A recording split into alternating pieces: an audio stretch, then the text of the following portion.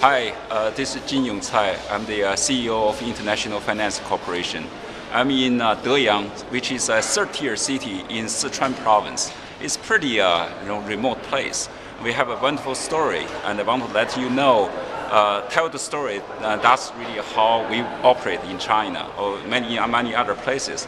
This is uh, a car dealership and repair shop and it's owned by a husband and wife. And actually, the name of the uh, place is uh, Yu Yan, is the name of the husband and the wife.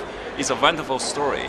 Uh, about three years ago, uh, they lost their jobs, and uh, they had no uh, income, no other options. So IFC financed a bank here called the Deyang Bank.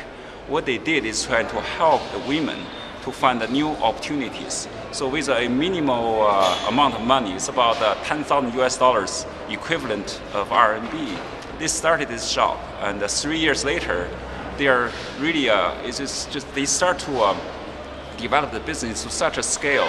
Now they employ about uh, 158 uh, uh, employees from the uh, the countryside, and uh, they provide housing for those employees, and uh, themse- themselves are doing really well. So uh, this is how we operate, and we create jobs, and we help uh, these people who have no other uh, opportunities to uh, to, to uh, become more prosperous and have a wonderful life.